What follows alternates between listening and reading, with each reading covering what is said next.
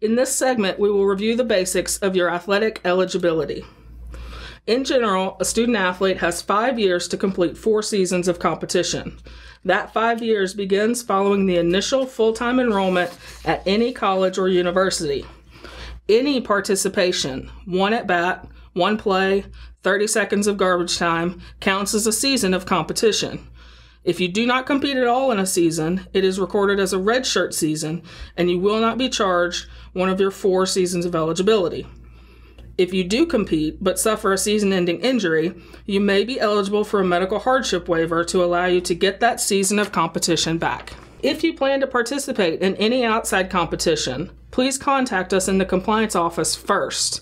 Without proper approval, participation on outside teams during the academic year could seriously affect your remaining eligibility. During your collegiate career, you are required to remain an amateur and are not permitted to accept benefits or payments for your athletic abilities. This includes entering into agreements with agents. To clarify, you are permitted to communicate with agents, but the moment you accept any sort of benefit from them, you have rendered yourself ineligible. Outside of agents, you are also not permitted to accept extra benefits that are not generally available to everyone.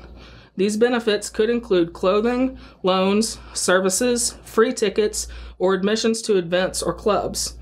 Something like a student discount at the movies is acceptable, but free dinner because you're a student athlete is not. If you're unsure whether or not something is permissible, ask yourself these questions Is it available to everyone or to all students? What is the source of the offer? If you have any doubts at all, you should not accept the offer. If there is something you want to do or accept, and we can confirm that it is permissible, we want to try to help you do that. The most important thing, though, is to protect your eligibility. Always, always ask before you act.